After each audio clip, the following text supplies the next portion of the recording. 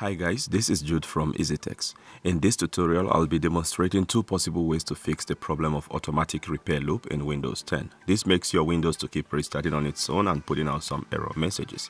Now there are different forms of this problem. For this laptop, when I press the power button, it starts to boot up normally, shows the HP logo screen,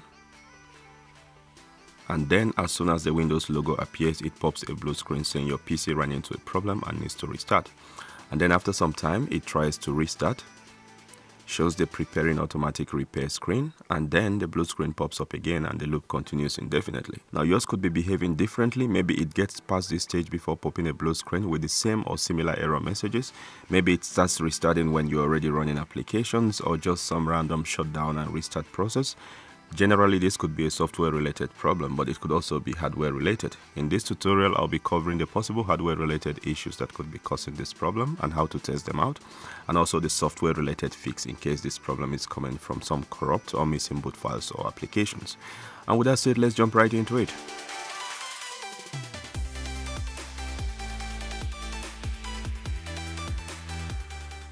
Okay, so first, if you're experiencing this problem during Windows installation or startup, like the case of this laptop, then I would recommend you start off by testing out the different possible hardware components that could be causing this problem. This includes the hard drive, your RAM, your wireless card, graphics card, USB devices, and in the worst case scenario, the motherboard itself. Now, there are no strict rules about the order of testing out these components. However, I would recommend you start off by removing any USB devices you might have attached to your laptop before this problem started and try running without them. Some devices could interfere with normal system operations and cause such boot loop or blue screen error in your Windows. And with that out of the way, the next thing to check is the compatibility of your RAM or memories. Here you first want to check what kind of RAM your laptop requires and what kind of RAM you actually have installed on it. A quick way to do this is to search for your laptop specifications online, preferably from your manufacturer's website or some other reliable sources and check the specs of the memory or RAM that your laptop was designed to run with. Now for the case of this HP ProBook 450G1, it should be a DDR3L at 1600 MHz. Now for this consideration, clearly DDR2 and DDR4 are out of the question because they have different kind of physical sockets. The closest mismatch in this case is the DDR3 and the DDR3L because they share the same kind of socket. Most manufacturers will differentiate these two either by clearly indicating the type on the label or indicating the operating voltage of the module, with DDR3 running at 1.5 volts while DDR3L runs at 1.35 volts. For more details on how to differentiate these two, I will leave a link to a video I made on that down the description. Now still on this spec page, you will find other parameters like the maximum supported size, the dual channel requirements, that's for the two slots available. As you can see here, having the same memory size and speed will help optimize the performance of your Windows.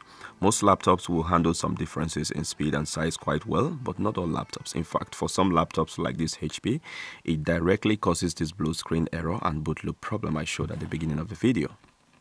So here I'll be replacing the RAM with the required RAM given by the manufacturer.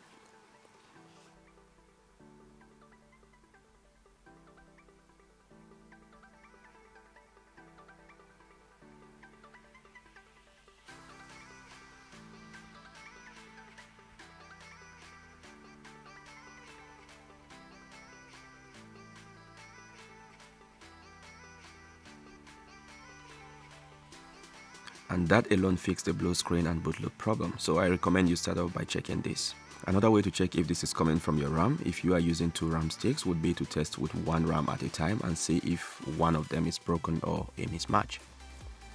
The next hardware component that could be causing this boot loop problem is your hard drive. Now unlike the RAM, this is not usually the case of a mismatch, it's rather due to some dysfunctional or damaged sectors of the disk.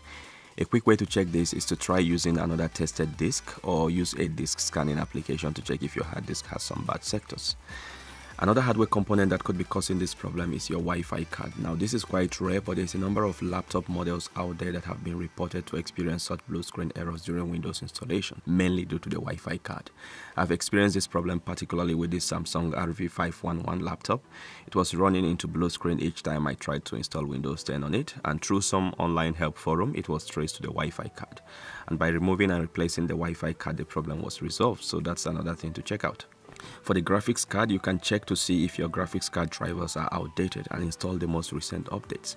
Or maybe you need to roll back a recent update if you started experiencing this issue after updating your drivers. Finally and more expensively is the possibility of this problem coming from the motherboard. In that case, there are too many things that could be wrong. So a replacement might be an option. Some motherboards are cheaper to replace than others. In some cases, it might be more cost effective to get another laptop entirely. But before you settle for any of these expensive options, here is a possible software fix that might resolve the problem. The approach here would be to use the registry backup command called regback. What this command does is to replace your registry configuration with the last known good configuration you have on your PC. So basically changing your registry configuration to the configuration of your most recent successful boot up. To do that, you will need to get to this startup repair screen. Normally when your PC gets into this boot loop problem due to software related issues, after a few attempts, it should pop up a startup repair screen like this. From here, select advanced options, then troubleshoot, the advanced options and on this page click on the command prompt option. It should pop up this command prompt terminal. Here type the letter of the disk drive where you install your operating system. Usually it's the C drive. In some cases it could be drive D if you have configured it so. Here type the letter C and colon and then hit enter. Now type dir and hit enter. Here, if you find the folders program files and program files x86 together with the other folders like users and Windows, then you are in the right drive. Otherwise, type the letter D, colon, and hit enter. Then dir. So as you can see here are the directories I was expecting to see, so I'm now in the right drive. Now before running the regback command, I will back up the current registry in case I have some need to restore it afterwards.